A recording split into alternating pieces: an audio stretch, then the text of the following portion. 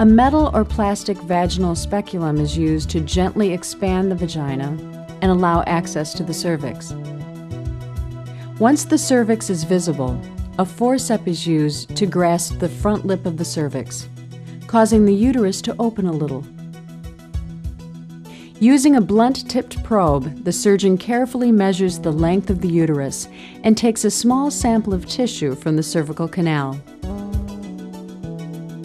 Next, the surgeon will dilate or open the cervix using a series of progressively larger metal rods called dilators.